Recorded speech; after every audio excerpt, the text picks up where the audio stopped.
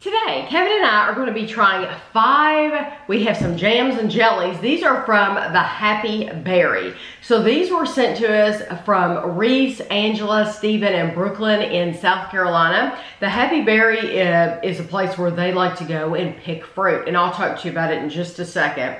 This is the Muscadine Jam, the Scuppernong Jam, the Razzmatazz Preserves. She gave me the easy one blackberry and blueberry.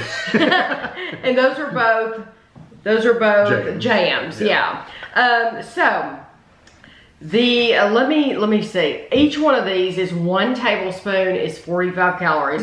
We're going to be trying the muscadine jam first. I'm going to let you go ahead. Each one of these had a plastic seal on the top. So I took the plastic seals off and I actually used my little um, man, we call it the man, and I opened up each one of them so we wouldn't have to struggle on camera. It says the Happy Berry is located on the eastern shore of Lake Keowee in Pickens County, South Carolina. It is a pick-your-own small fruit farm with blackberries, blueberries, muscadines, grapes, and figs available in season. The season is from June 1st through September in most years pre-picked berries are available on the farm. So if you don't want to go pick your own, you can uh, just grab a um, container full and they have things like this for you to buy. Um, so muscadines are, uh, yes, muscadines what we're going to try first. They are a type of grapes. It says they thrive in mild climates they're found growing from Delaware to Florida and from the Atlantic coast to Texas, places where the temperature doesn't drop too far below 10 degrees Fahrenheit in winter. Hmm. So and there are hunks of, the, of it in there. Yeah, and the ingredients are, are pretty pure. Muscadines, sugar, pectin mix, and water.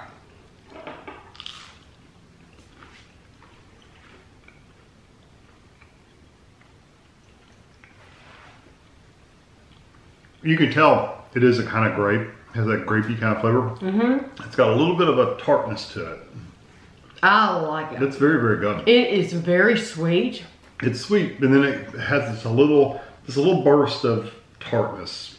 Not bad. Like a cranberry has this little burst of tartness.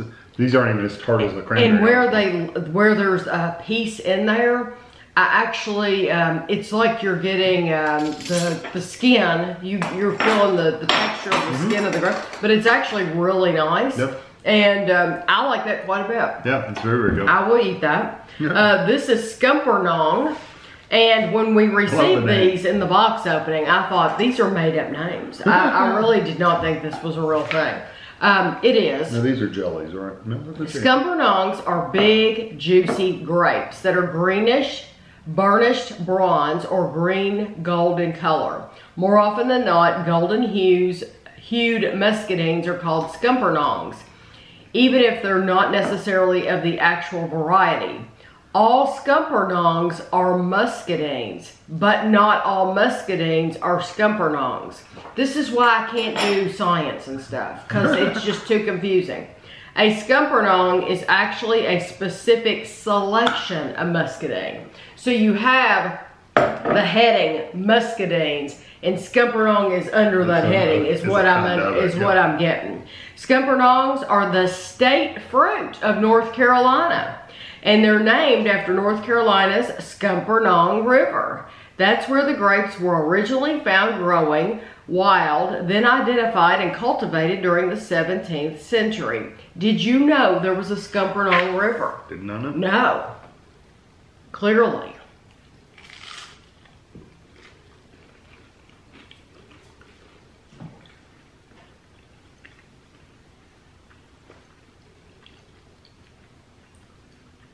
That, to me,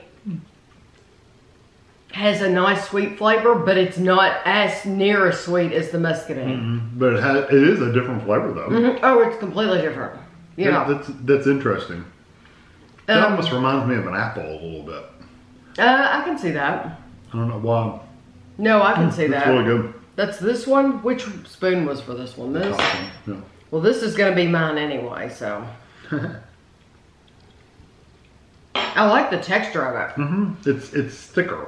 It's thick and it's um it has hunks in it. It's chunky.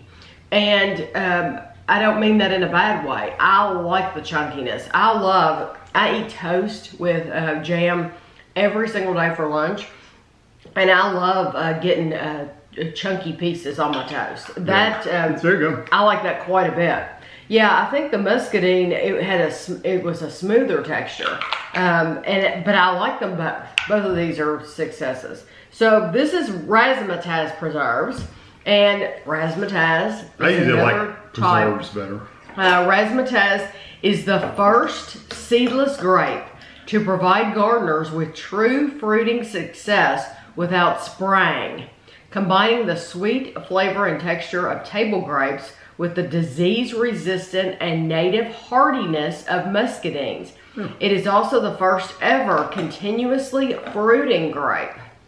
Starting as early as six months after planting, it will set blooms and fruit all summer and all along the vine. Each vine requires about 15 feet of growing space on a wire trellis or fence with at least eight hours of sunlight. So it seems to me, just hearing that, that if you were to want to plant your own, then the razzmatazz would be the ones to plant because You get more fruit. you get, would get more fruit from them. It seems like those would be more beneficial to you financially.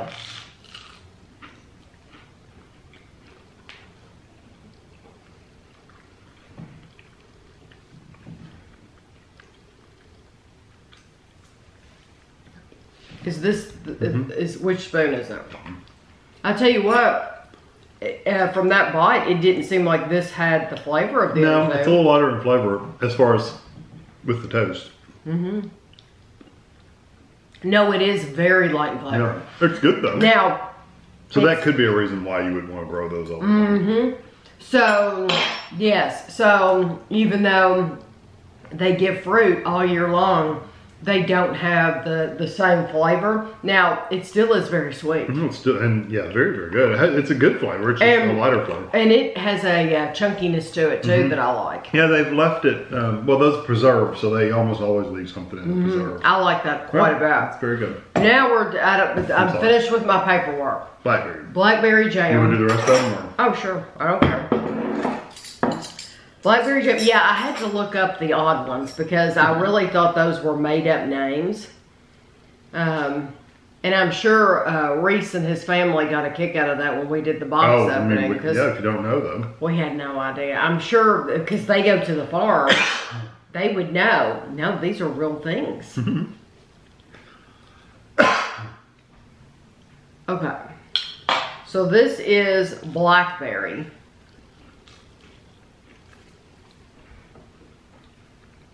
Blackberries, sugar, water, pectin, lemon juice. Hmm. I like that. It's a lighter flavor too, though, compared to some of the other ones. Uh huh. It is, and if you go online and do a Google, just type in the Happy Berry, then this farm will pop up, and um, you can see pictures and get information. Um, they even had, I believe, they had a pricing chart on there of how much it cost. Um, they tell their hours of operation, and um, I'm thinking they tell what was good at what time of year, and um, so it's it's a really neat website. So you're if you're in the um, South Carolina area, in this area, it would be a neat place to go visit. Um, that's nice. It is nice. Not a strong flavor. Uh-uh. No, but it's still very good. Yes. This last one is the blueberry. Yeah. I don't know if I ever had blueberry. Blueberry jam, I'm sure we have. We've tried a Mm. lot of jams.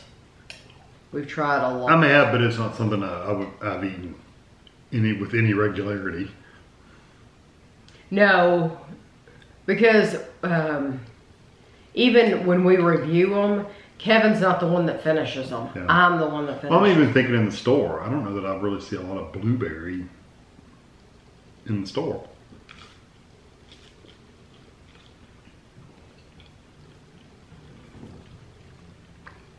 Now, I'm the jam jelly eater. If you watch my grocery hauls, you know that. Has a nice flavor too. Mm-hmm. Yeah, the only time I eat, I eat strawberry preserves on peanut butter and jelly. That's the only time I ever eat stuff like that. So That would be good with peanut butter. That would be any of these would be because this um, it's it's very pure. It's nothing candy. It's nothing artificial. Mm. So it, there's no fake blueberry flavor. Mm. It is what it is. You get the yeah, you get the flavor that you get, um, and that is very nice as well. It is very nice. I like all of these, but my favorites. The first one was my favorite. I yeah, that's what I'm gonna say. I'm gonna say um, that lid does not want to stay on there, so I'm gonna have to be real careful with that. I don't want to put that in the door. I want to put that just set that it just set it up there because it literally does not close. Um, I think my my favorite is I'm gonna agree with Kevin. The muscadine. It's really really good, and, and, then and it does remind you a little bit of, a, of just grape, but it also has a different flavor too. yes, and then my favorite is the Scuppernong. So, the second. So those two Yeah, are, are my favorite. Um, but they're all good. Yeah. I like them all. Yeah. Yes, all very, very successful. Uh, so thank you so much uh, to Reese. Reese is the one out of the family. Uh, he he's the one that at least packaged them and sent them and all that. So I really appreciate that a lot. Um, that you went to this farm. It's something we would have never gotten to try otherwise. So we appreciate it. If you're out there and you've heard of this farm, uh, leave a comment. Let Reese know that, hey, I've been to that uh, place and I've got my own grape, picked my own grapes, whatever you've done. Let him know because I think that would be neat for you all to be able to connect through the comments. So I hope you enjoyed the video and thanks for watching.